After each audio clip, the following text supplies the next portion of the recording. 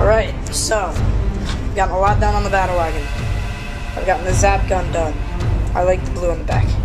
Really makes it pop. That's done. And this hatch is done. Nothing special, it's just a hatch. Uh, okay, big stuff now. Dun, dun, dun, Okay, got the ram done.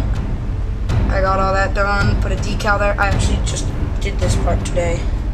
Got this turret done. I did that a while ago. I did this hatch. The hatch was like the first thing I did. Um, whole turret's done. I'll show you. Done. I painted that whole cannon. Oh, sorry. I had to put the uh, top back on. Yeah, so that turret's all done. Put it in the light.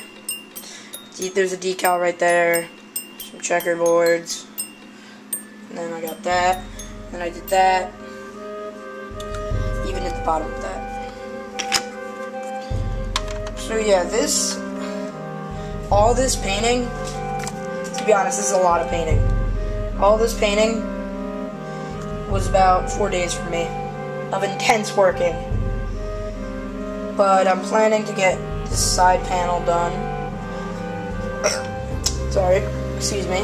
Sometime, oh, that been very bad.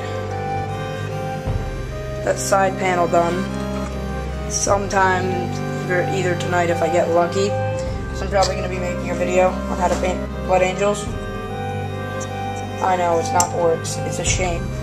But I found a camera that does a really good macro focus. Sorry, my codex fell.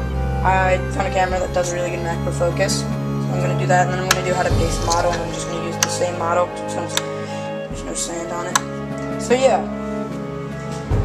that's pretty much it. I'm to get to work tonight. And that's it. Oh yeah, there's the army builder. Anyway, yeah. I'm probably to sell these on eBay, so when they're done, I'll have a video explaining them and showing what they are. I might sell them on eBay. Don't take my word. But yeah, that's pretty much it. Thank you for watching.